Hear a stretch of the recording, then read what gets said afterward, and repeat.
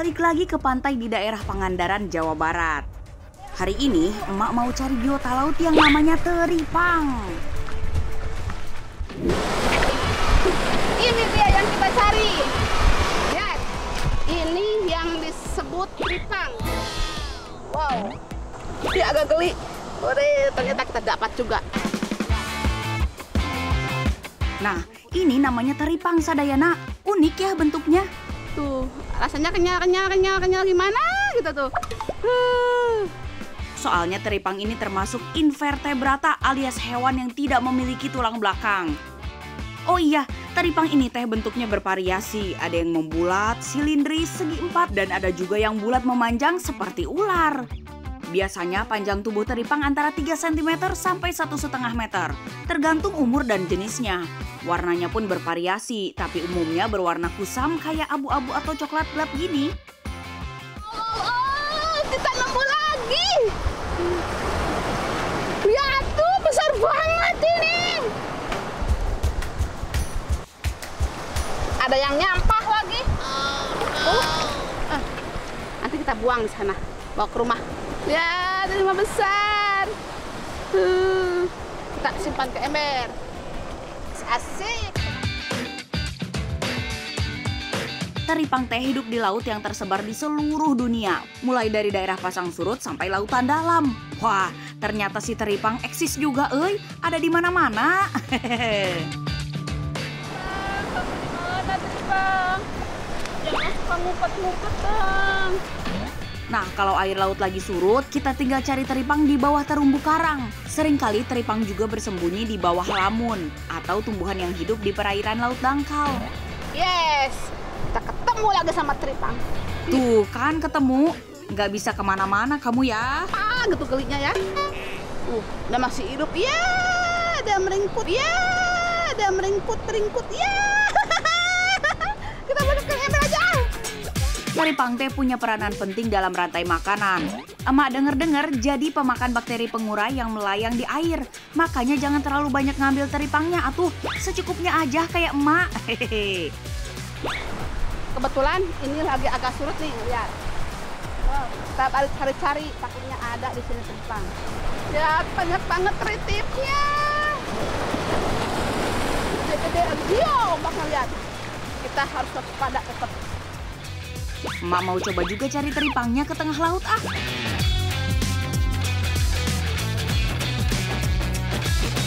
lumayan nih dari tengah aku dapat dua lihat tuh. Tapi sayang kameramennya nggak ikut. Dia masih trauma. Takut kameranya terjegur lagi ombak. Kasihan. Kalau di Indonesia daerah penghasil teripang terbesar teh ada di Sulawesi Tenggara. Oh iya, teripang dari negara kita mah sudah dijual sampai ke luar negeri. Sama orang bule, teripang teh dijadiin obat. Katanya hewan ini mengandung senyawa yang bisa membunuh sel kanker. Ele ele hebat juga euy hewan laut ini. tangkapan kita hari ini lihat besar-besar banget kan kalau nggak kena air ini menciut lebih baik sekarang kita masukkan lagi ke air biar dia hidup tuh Nah, kayaknya udah cukup nih untuk emak masak. Tapi sebelum dimasak, teripangnya harus diolah dulu, euy. Yang pertama harus dibersihkan dulu sampai bersih. Terus kalau udah bersih, direbus selama 2 jam. Kemudian dikasih garam supaya awet dan menambah cita rasa. Selanjutnya didiamkan semalaman. Baru deh besoknya teripangnya diasapi selama 30 menit. Terus cuci lagi dan dijemur selama dua hari sampai benar-benar kering.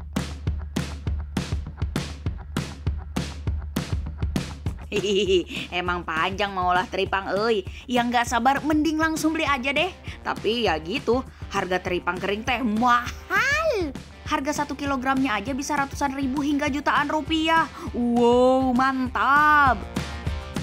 ini teripang yang kemarin lihat hasil akhirnya segede-gede gini ini udah kering ya Teripang yang udah kering ini emak rebus lagi nih selama setengah jam biar empuk.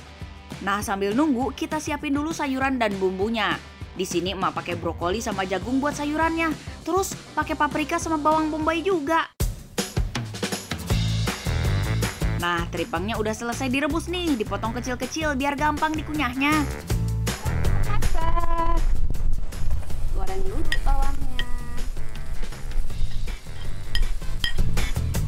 Terus ditumis sampai harum ya.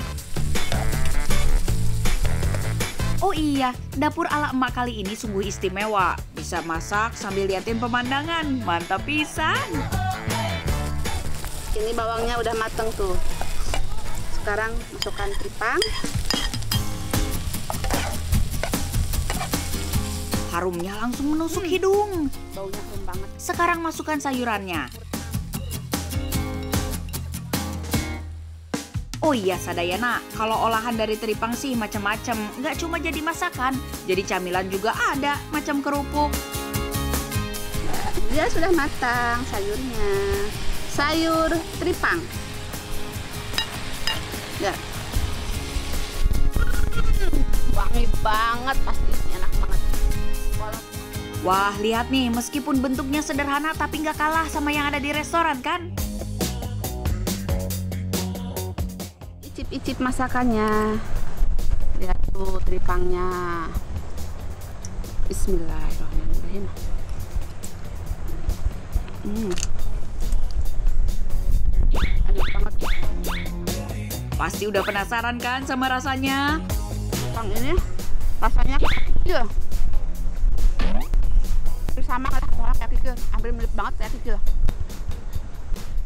Kenyal-kenyal gimana gitu. Apalagi Apalagi ditambah brokoli dan paprika, makin raos, euy. Walaupun cuacanya agak mendung, tuh agak gelap-gelap kan, tapi alhamdulillah nggak keburu hujan. Sekarang mau menikmati makanannya lagi. Tuh, ah.